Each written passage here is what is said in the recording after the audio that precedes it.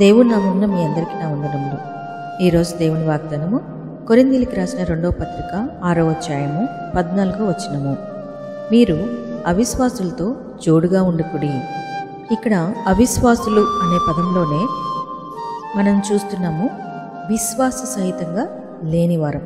అంటే ఏదైనా మనం పని చేసినప్పుడు ఇది మనం చేయగలము మనం సాధించగలము అనేవి మాట్లాడకుండా నువ్వు చేయలేవురా నీకు ఇది అసాధ్యము అని చెప్పే వాళ్ళని మనము అవిశ్వాసులుగా అంటుంటాము. అయితే ఇక్కడ దేవుడు ఏమంటున్నారంటే అటువంటి వారితో జోడుగా ఉండద్దు అంటున్నాడు. నిజమే కదా? మన ఎంకరేజ్ చేస్తూ మనం ఒకవేళ పడిపోయే స్థితిలో నువ్వు చేయగలవురా? నువ్వు సాధించగలవు? అని చెప్పి మన ఎంకరేజ్ చేసే వాళ్ళతో మనం ఫ్రెండ్షిప్ చేసినప్పుడు ఎటువంటి అసాధ్యమైన కార్యాన్ని కూడా మనము దాన్ని చేస్తాము అనే ఒక పట్టుదలతో దాన్ని కంపల్సరీగా పూర్తి చేసేస్తాము. కానీ అవిశ్వాసంతో మనము జోడీ చేసినప్పుడు వారి యొక్క సహవాసం చేసినప్పుడు ఏమవుతుందంటే మరి నీ వల్ల కాదు నీ నువ్వు చేయలేవు అని మనకి డిస్కరేజ్ చేస్తూ ఉన్నప్పుడు నిజమే కదా నేను అంత పెద్దదాన్ని నేను చేయలేను కదా అని చెప్పేసి చేసే కార్యాలను కూడా మనము పెండింగ్ చేసేస్తూ ఉంటాము. ఈ సహవాసం వల్ల మనకి కీడే జరుగుతుంది కానీ మేలు జరగదు.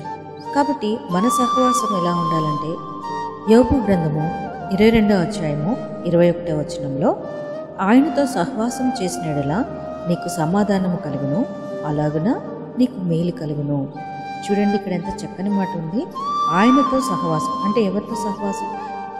దేవుడితో అంటే యేసుక్రీస్తుతో మనం సహవాసం చేసినప్పుడు అది ఎలా ఉంటుందంట? సమాధానంగా ఉంటుంది. అలాగనే నీకు మేలు కూడా కలుగుతుంది. అటువంటి సహవాసాన్ని మనం కలిగి ఉండాలి. ఇటువంటి సహవాసం అందరితో సమాధానంగా జీవించేలాగా అలాగే మన జీవితంలో ఎంతో మేలులు ఆశీర్వాదాలు పొందే విధంగా ఉంటుంది. కానీ చెడ్డ సహవాసాలు చేసినప్పుడు నలుగురితో చెడుగా అనిపించుకోవటమే కాకుండా చెడు ఆలోచనలు చెడు తలంపులతో ముఖ్యంగా యవనస్తులు ఈ లోకంలో పాడైపోతున్నారు. అటువంటి వ్యసనాల నుంచి బయటపడలేక కొంతమంది మరణిస్తున్నారు. కానీ మన సహవాసం దేవునితో ఉన్నప్పుడు దేవుడు మనకి మంచి ఆలోచనలు ఇస్తూ మంచి పనులు చేయడానికి నలుగురి దగ్గర మంచి పేరుతో పాటు నలుగురికి సహాయం చేసే విధంగా మనము జీవించగలుగుతాము. దీనివల్ల ప్రశాంతమైన జీవితాన్ని మనము అనుభవిస్తాము. కాబట్టి ప్రి స్నేహితులరా ఈరోజే మనం పరీక్షించుకుందాం. మన యొక్క సహవాసము ఎవరితో ఉంది? అవిశ్వాసులతో మనం సహవాసం చేస్తున్నామా?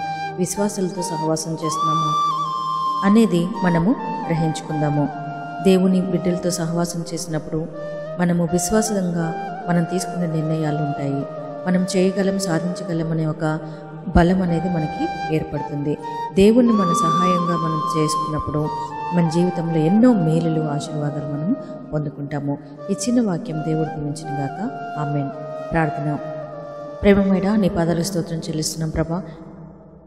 నిజమే తండ్రి మా యొక్క సహవాసము మీతో ఉన్నప్పుడు తండ్రి మేము సాధించలేని కార్యాలు కూడా మేము సాధించగలిగే విశ్వాసాన్ని మాకు నువ్వు అనుగ్రహిస్తావు ప్రభా. మేమందరం కూడా మీతో సహవాసం కలిగి మేలులు ఆశీర్వాదాలు పొందుకునే కృపని భాగ్యం దాచమని ఎవరైతే చెడు సహవాసాల్లో బానిసలై మంచి జీవితాన్ని ఈ నుంచి జీవించాలని తీర్మానం తీసుకున్నారో వారందరికీ కూడా మీ కృపలో భద్రపరిచి సహాయం చేయమని ఏసునామని అడిగి వెళ్తున్నాం తండ్రి. ఆమె